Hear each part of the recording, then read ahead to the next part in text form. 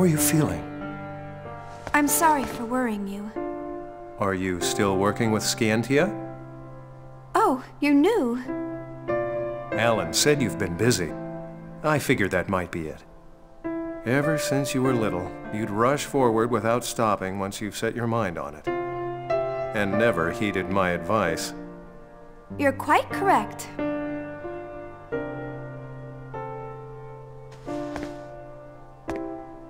Well, it's all right, as long as you're healthy.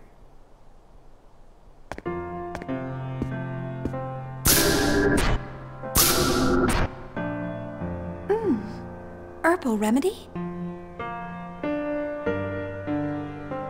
You could have just handed it to me, you know.